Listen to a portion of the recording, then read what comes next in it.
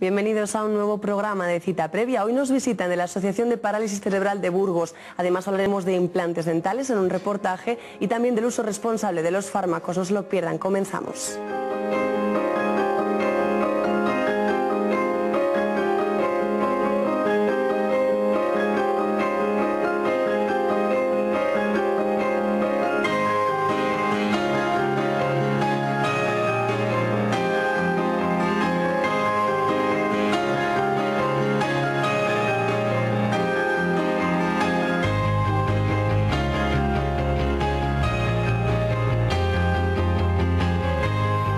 La bienvenida a Piedad García, que es tesorera del Colegio de Farmacéuticos. Muy buenas. Hola, ¿qué tal? Piedad, muchas gracias por hacernos un hueco y acercarte hasta el plato de cita previa. vosotros, gracias. Eh, te hemos invitado porque precisamente eh, la semana pasada fue el Día Mundial del Farmacéutico y nos gustaría que nos comentases un poco la campaña que habéis dedicado a, por así decirlo, al uso responsable del fármaco. ¿Cuál es el problema que hay con el uso de los medicamentos? Bueno, pues se está viendo que en los últimos tiempos las enfermedades se detectan precozmente, en- por eso mismo pues hay más casos de eh, personas polimedicadas y entonces cada vez es más evidente el trabajo que tenemos que realizar en función del uso responsable del medicamento. De hecho, uno de los datos que se están dando estos días que llama la atención es que una de cada tres personas que van a urgencias es por un mal uso de un medicamento. Sí, se ve que hay problemas de reacciones adversas, de contraindicaciones, incluso también de dosis inadecuadas de medicamentos que ocasionan esas visitas a urgencias con todo lo que eso supone. O sea que el problema, uno de los problemas que me imagino que encontráis es la automedicación. Sí, es cierto que desde la oficina de farmacia muchas veces vemos que la gente no tiene el respeto que quizás debiera de tener por los medicamentos y ellos mismos inician algún tratamiento pues por consejo de algún familiar o incluso por el acceso a internet que actualmente en ese sentido yo creo que también tenemos que tener mucho cuidado. Háblanos de, casos, igual que os hay- hayáis podido encontrar eh, de gente que eso que se fía igual más de internet o del vecino. Sigue habiendo mucha gente que, que se fíe más de lo que se dice en la calle que de lo que le pueda decir un profesional. Hombre, yo creo que no, que la mayoría de la población hace las cosas bien y cuando tiene un problema de salud se dirige a un facultativo, que bueno, pues es lo que tienen que hacer, pero por eso también velamos nosotros desde la oficina de farmacia en que siempre cuando hay un problema de salud hay que buscar ese asesoramiento de un sanitario. ¿Qué consecuencias puede tener el em, automedicarnos? Pues puede ocasionar problemas de salud. Hay que pensar que si estás tomando un tratamiento que no es adecuado para ti porque pues, estás utilizando una dosis inadecuada, un principio activo inadecuado o que em, contra- está contraindicado porque interacciona con algún tratamiento previo, pues vas a tener un problema de salud y seguramente tampoco consigas el efecto terapéutico que deseabas. Además, cada uno somos un mundo, ¿no? Lo que le sienta bien al vecino tampoco tiene por qué sentarnos bien a nosotros. Claro, por supuesto. Habrá que tener en cuenta también las alergias, imagino. Pues también las alergias, las intolerancias, hay que tener en cuenta muchas cosas. Ujú.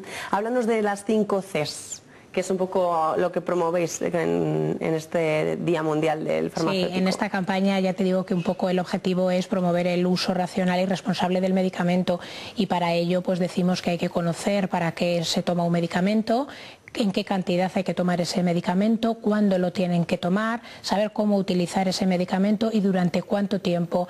Esta información ya un paciente la tiene cuando alguien le ha prescrito un tratamiento, pero desde la farmacia siempre reforzamos este conocimiento para que el resultado sea el esperado. Uno de los problemas que encontráis también ahora es que mucha gente deja el tratamiento antes de tiempo, ¿no? pues muchas veces se abandonan los tratamientos antes de tiempo y eso ocasiona que el problema de salud no se solucione y que muchas veces eh, pues acabe hasta estando peor el paciente. ¿Quién nos tiene que indicar estas 5 Cs, ¿no? Durante cuánto tiempo, cómo tomarlo. Mm, lo normal es que una persona cuando tenga un problema de salud vaya a su médico. El médico es el que le va a pautar ese tratamiento y el que le va a tener que explicar esas cinco Cs que hemos comentado. Y luego al ir a la farmacia ahí le vamos a reforzar esa información para que lo haga bien y le vamos a ofrecer también un seguimiento farmacoterapéutico. Por otra parte también hay medicamentos que son de indicación farmacéutica y ahí somos nosotros los responsables de esos medicamentos. ¿Qué tipo de medicamentos serían esos que, por así decirlo, bastaría con ir a la farmacia y que sea el fa- el farmacéutico el que nos aconseje? todos los medicamentos que no están sujetos a, a receta médica, aquellos que se entienden para, para síntomas menores, para casos autolimitados en el tiempo. Pero simplemente hasta para un catarro, ¿no? Hay que pedir consejo porque No es lo mismo tampoco un catarro de nariz que un catarro de, que, que va más hacia la zona del pecho. Así es, para cualquier patología, por menor que sea, hay que ponerse en manos de un facultativo, así es. ¿Con qué medios contamos en la provincia de Burgos, más o menos, para hacernos una idea de si hay excusa o no para no contar con un profesional? Pues mira, España eh, creo que puede tener el orgullo de decir que es mm, de los pocos países que tiene el 99% de la población española tiene una oficina de farmacia en su localidad. Somos eh, uno de los países con menor número de habitantes por oficina de farmacia. Unos 2.200 habitantes españoles tienen una oficina de farmacia para ellos, que esto está muy lejos de datos como por ejemplo en Suecia que es 10.000 habitantes para una oficina de farmacia. En ese sentido yo creo que la población está muy bien atendida. El medicamento es muy democrático para todos porque todo el mundo tiene un acceso muy fácil a una oficina de farmacia y Burgos en concreto dispone de 202 oficinas de farmacia, 74 en la ciudad y el resto en la provincia. En lo que respecta a las franjas de población, ¿quiénes somos los más difíciles de convencer en esto de que hay que aconsejarse? Igual la gente mayor, la gente joven. Yo creo que la gente es muy receptiva al consejo y siempre cuando además uno no se encuentra bien, pienso que lo aceptan todos de muy buen grado. Pues Piedad, hasta que ha llegado la entrevista, muchísimas gracias. A ti. Tomaremos nota eh, y hay que hacer más caso a los profesionales y menos caso al vecino, que oye, que igual a él le va muy bien ese medicamento, pero a nosotros no. Así es. Piedad, muchísimas gracias y mucha suerte con esa campaña. Gracias a vosotros. Nosotros continuamos en cita previa, les dejamos con este reportaje de implantes dentales.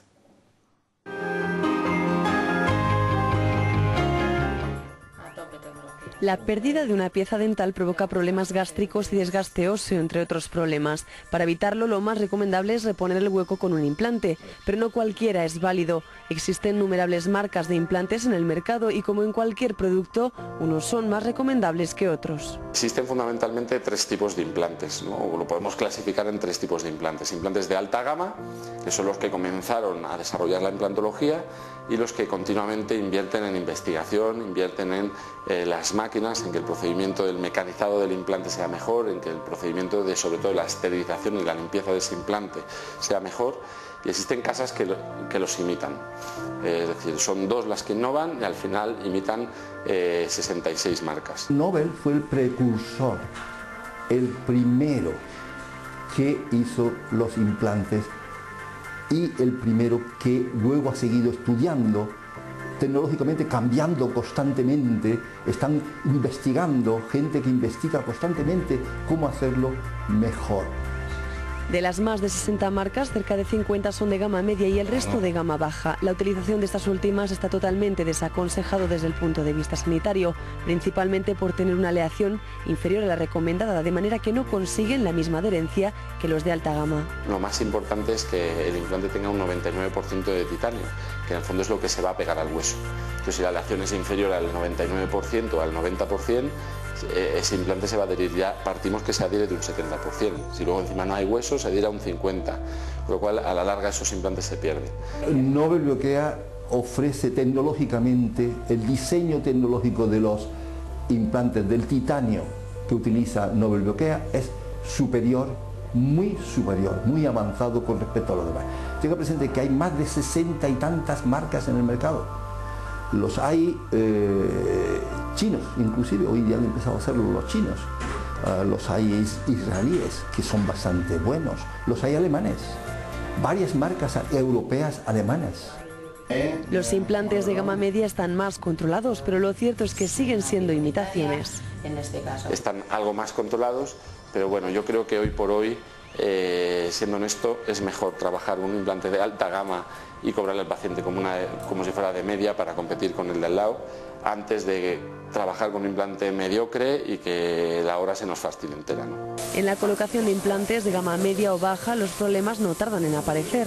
A corto plazo podemos tener accidentes importantes, porque son implantes que aunque testen las fuerzas de, inserción, etcétera, son implantes que, tienden a romperse, tienden a Mm, las conexiones a, fracturarse, ¿no? no el implante en sí, sino la conexión. Entonces luego la, funda no encaja correctamente o tenemos algún tipo de problema. Y, bueno, sobre todo pues, pues que si en, casos en los que el hueso es muy escaso y hay que colocar el implante de una manera más complicada, pues los aditamentos para hacer la prótesis son más escasos, con lo cual la funda va a quedar peor. Y con el paso del tiempo, el principal problema que presentan es que no se adhieren correctamente, es decir, la osteointegración es inferior. Las fracturas de tornillos, de prótesis, de implantes son mucho más frecuentes, la calidad del mecanizado es inferior, por lo tanto a la larga mm, no suelen ofrecer una garantía de por vida, es decir, los implantes de alta gama, la casa comercial te dice, bueno, como sé que lo tengo estudiado y sé que en un 99% me funciona, pues te puedo ofrecer que si al paciente en 20 años pierde el implante, yo te voy a devolver ese mismo implante o el que tú quieras. Garantía que sí ofrecen primeras marcas como Nobel Biocare. Nosotros lo damos a los pacientes, es decir, pacientes que se operan con nosotros, que se colocan implantes Nobel Biocare, por ejemplo, eh, pues directamente se llevan un papel con una garantía, eh, número de lote y referencia de cada implante que se le ha colocado y con eso en cualquier parte de España pueden reclamar eh, que han perdido ese implante y la casa comercial se lo devuelve. Nuestro especialista en implantología será quien mejor nos pueda aconsejar sobre qué implante colocarnos, siempre teniendo en mente que existe una gran variedad de tipos y que la calidad se notará tanto a corto como a largo plazo.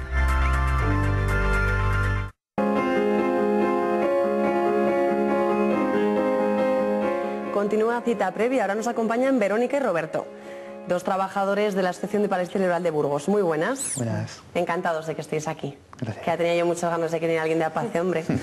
Hablándonos un poco de la asociación, ¿qué tipo de, gente tratáis o mm. con Bueno, APACE es, la Asociación de Parálisis Cerebral y Afines de Burgos. Llevamos trabajando en la ciudad desde 1979, o sea que ya tenemos 33 años. Sí. Eh, actualmente tenemos nuestro centro de atención integral situado en el barrio de Fuentecillas, que atiende a 115 familias de personas con, parálisis cerebral. La franja de edad con la, que, con la que trabajamos es desde los 0 hasta los 65 años, creo que es la persona más mayor que tenemos. Y un poco, pues eso, el colectivo con el que trabajamos, como el nombre de la asociación indica, son personas con parálisis cerebral. La parálisis cerebral es un trastorno que se produce en el cerebro en los primeros años de vida. Eh, es una lesión eh, permanente y no inmutable, eh, digamos que va a estar presente a lo largo de toda la vida de la persona va a afectar motóricamente a nivel motórico, pero puede tener eh, otro tipo de discapacidades asociadas, otro tipo de trastornos asociados, pues una discapacidad eh, intelectual, una discapacidad sensorial, eh, una discapacidad conductual, un tema conductual. por lo que dices son casos muy diferentes unos de otros, ¿qué tipos de parálisis podría haber entonces? Pues no, no me voy a remitir a, términos, a términos técnicos porque igual es más difícil entenderlo, pero como te comentaba es muy amplia, la discapacidad es muy amplia. Podemos eh, partir de personas que puedan tener una pequeña afectación motórica, todos van a tener presente el elemento motórico, todos van a tener una discapacidad motórica en mayor o menor grado. Vamos a, ver personas desde que puedan tener una pequeñita eh, discapacidad motórica como una hemiplegia, una parálisis de un, de hemicuerpo eh, o, gente con una tetraplegia, o sea, con, todos los, con afectados todos los miembros y con una discapacidad cognitiva asociada y con una discapacidad sensorial. ¿Y por qué se producen la mayor parte de las parálisis? Porque decías que son los primeros años de vida? Mm. Se suelen producir o bien por, eh, por lesiones en el feto, o bien intrauterinas o extrauterinas, pues, o por dificultades en el parto, por una infección intrauterina. Eh, esas son las principales causas de, de la parálisis. Desde la asociación, ¿qué hacéis por estas personas con parálisis cerebral? Bueno, pues en la asociación lo que intentamos dar, eh, lo que intentamos potenciar es al máximo la autonomía de las personas con parálisis cerebral, intentando que, pues que lleven una vida lo más autónoma posible. Para ello eh, tenemos, desarrollamos eh, varios programas, desarrollamos un programa de gestión de la autonomía personal, que es bueno, pues todo lo que son campañas de sensibilización, dar a conocer un poco la, discapacidad, campañas de formación.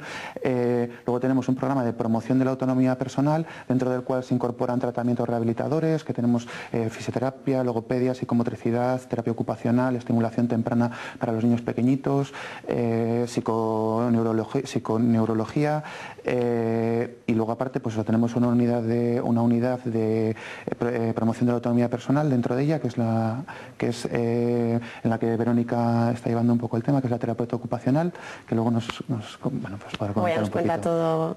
Eso es. Em, os quería preguntar supongo que es un apoyo importante para para la gente que tiene parálisis cerebral, pero también para las familias, porque desde la asociación no sé cómo explicarlo. Aparte también tenéis el centro de día, tenéis una residencia. Dentro de dentro de otros de los programas, bueno, estos los programas, luego tenemos los centros, tenemos el centro de día, el centro residencial y contamos también con un programa de atención a familias. Un programa de atención a familias específico que, trata, que, sea, que atiende a la familia a nivel psicosocial, eh, atendiéndolos del momento del diagnóstico con los, con los pequeños hasta bueno, pues las diferentes etapas de la vida. Pues, eh, digamos que lo que hacemos es un acompañamiento a la familia en las diferentes etapas de la persona con parálisis cerebral, facilitando los recursos y los apoyos necesarios. Y por otro lado, como bien comentas, tenemos el servicio de residencia y centro de día que bueno, lo que intentamos es eso mismo, nuestro objetivo de la asociación, eh, intentar que sean lo más autónomos posibles, pese a que nuestros centros, en este caso el de centro de día de residencia, son para personas gravemente afectadas, con un grado de afectación alto. Luego importante también realizáis varias excursiones, creo, a lo largo del año, porque lo sé yo que les da mucha vidilla, ¿verdad? Sí, durante el verano tenemos eh, las vacaciones de verano, que es, bueno, pues eso, lo que intentamos es que es un ocio normalizado para que los chicos, bueno, pues puedan disfrutar, igual que el resto de las personas de a pie, eh, pues de un periodo vacacional y luego durante el, durante el año hay pequeñas excursioncitas también que nos permiten, pues o, bien que en la misma ciudad se nos conozca y, participamos en cualquier evento que se produzca a nivel cultural o a nivel y antes de pasar a la zona de accesibilidad de la entrevista, me gustaría que explicaseis lo que es la bocha, que casi se me olvida. es algo que conoce muy poca gente. ¿eh? pues hicimos una demostración el, fin de semana pasado en, la Feria de Participación Ciudadana. Sí, es un deporte adaptado. Eh, dentro de, bueno, nosotros eh, de APACE nació el Club Deportivo FEMBA, que es el club que lleva un poco el tema, el tema deportivo en la asociación.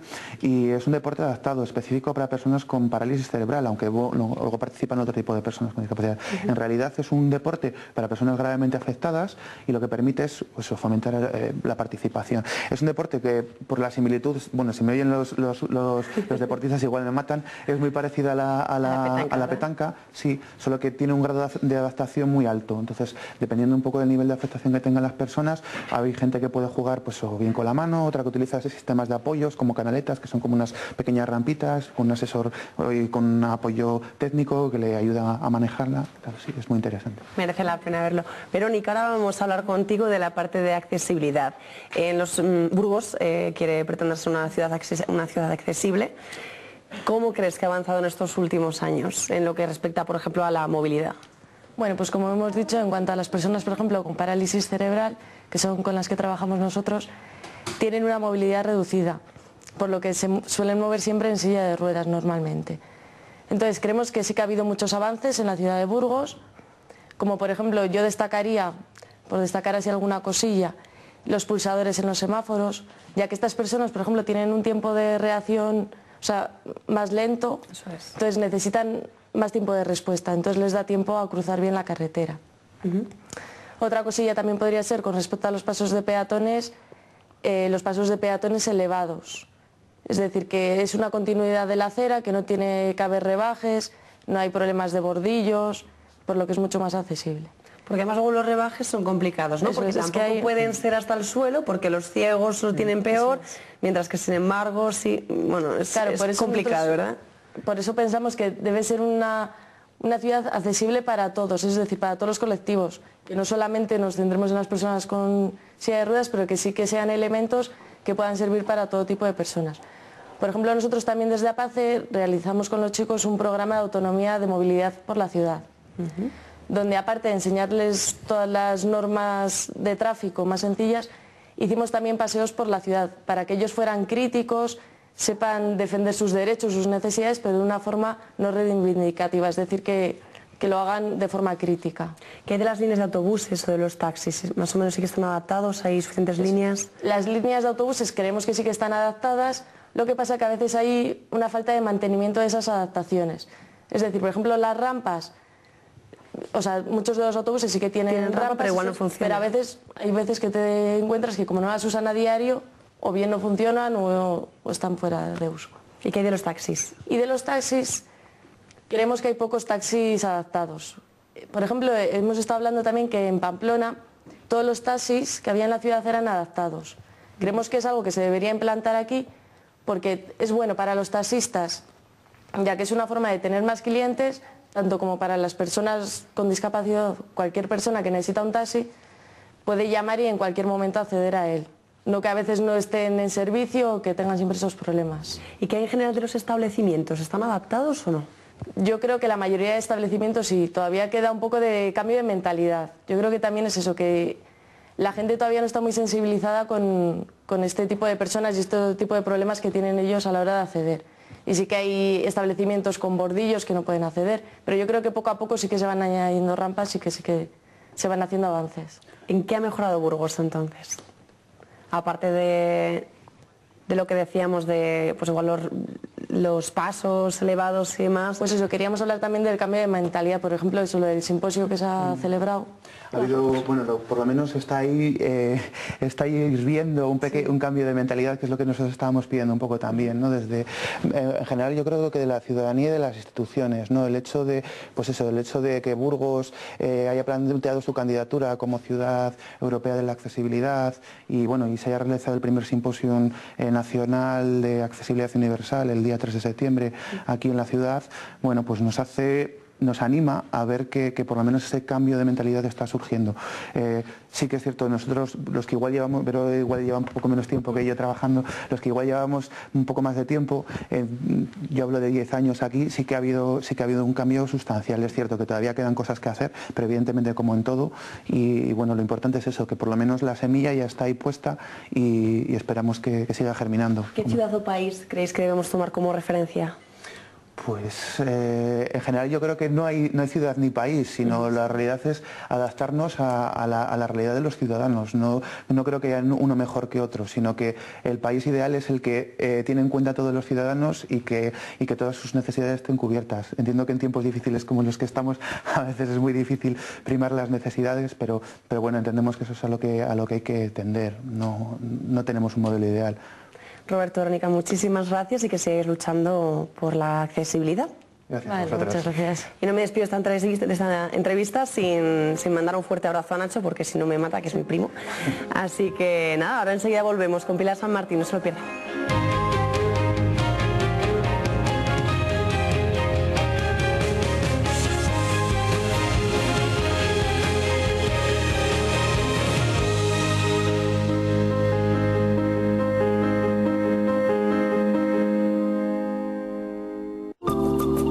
Para ti calidad de vida es poder comer unas nueces, masticar un chicle, sonreír sin complejos o no acabar el día con tus dientes en un vaso, definitivamente necesitas el mejor especialista en implantes dentales. Implante, el primer instituto dental avanzado de Burgos, en la Plaza Mayor. Implante, definitivamente.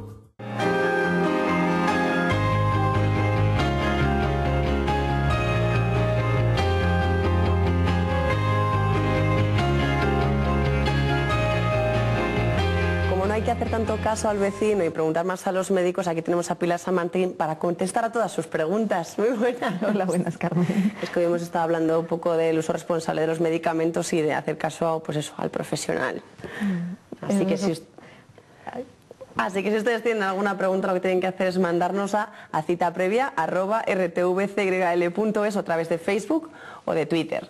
Pilar, hoy nos han preguntado si es cierto que en otoño se cae más el pelo y que por qué. Pues sí, es cierto que en otoño se cae más el pelo, aparte de la patología que pueda tener cada uno, que pueda eh, eh, favorecer que se caiga más o menos el pelo. Eh, en otoño, pues es los mamíferos en general, pues la tendencia es a cambiar el, pelo por la llegada para la preparación para el invierno.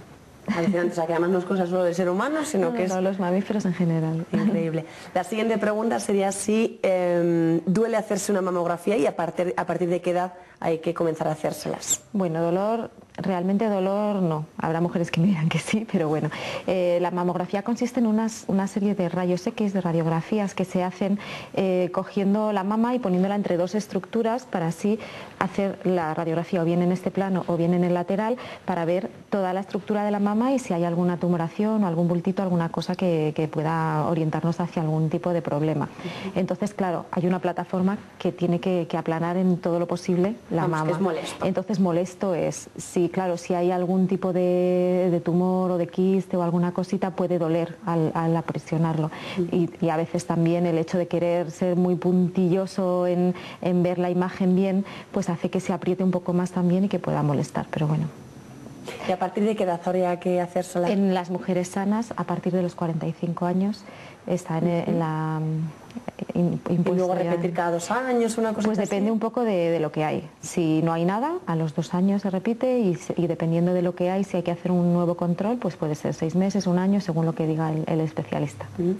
Eh, la siguiente, el siguiente espectador nos pregunta que se dice que se le rompen mucho las uñas y no sabe por qué. Bueno, algunas veces eh, la fragilidad de las uñas puede deberse a déficit de vitaminas, de hierro o algún tipo de enfermedad también que está relacionada a veces con procesos patológicos de las uñas. Además nos pregunta que si las manchas blancas significan realmente esa falta de calcio o si es un rumor. No, para nada, para nada. Lo de las manchas blancas o leuconiquia, que se llama, leuconiquia, eh, pues se debe sobre todo a traumatismos que ha podido suceder en las uñas, golpes o a veces toquecitos que nosotros tenemos costumbre como moratón, pero en las uñas. Eso es, como si fuese un moratón, pero en las uñas. Como la uña crece muy lenta, pues a veces tarda mucho hasta que se regenera toda la uña quitarse esa mancha, pero son traumatismos de la uña. Y la última pregunta de hoy, Pilar, es, eh, bueno, eh, nos dice que tiene un espolón en el pie y pregunta si usar plantillas con agujeros en el punto precisamente donde le duele podría ayudarle. Sí, sí, sí. Es un, buen sistema para que el espolón no se pose directamente sobre, sobre el suelo, sobre el zapato y, duela más, haga más daño. Lo que es el espolón es una calcificación en la inserción del tendón, donde se inserta el tendón en el hueso, ahí se hace una calcificación, calcificación y entonces al apoyarlo en el suelo duele porque hace un proceso inflamatorio alrededor. Entonces el hecho de, evitar que se pose directamente con el suelo, con una almohadilla que lleva un agujerito en el centro, que es justo la zona donde se encuentra el espolón, pues hace que que no duela. O sea que hay plantillas para cada tipo de sí, problema. qué problema en los pies hay diferentes tipos de plantillas. Pilar, recordamos brevemente que si tienen alguna pregunta nos la pueden enviar a cita previa rtvcyl.es o contactar con nosotros a través de Facebook y de Twitter. Y Pilar, yo ya con esto me despido. Bueno, pues hasta la próxima semana. Pero antes quiero daros la enhorabuena porque sé que esta semana habéis hecho un año en la Clínica de Nueva Vida. Sí, sí, sí, esta semana es nuestro aniversario. Y además decir que es vuestro aniversario y que también, nuestro, porque cita previa también mañana hace, hace un año. Así que pues enhorabuena para vosotros. Igual también para vosotros. Y nosotros darles, darles, darte las gracias a ti, que no has fallado nunca, y darle las gracias a todo el mundo en casa por, por haber estado ahí. Y sin más nos despedimos hasta la semana que viene, hasta el próximo jueves.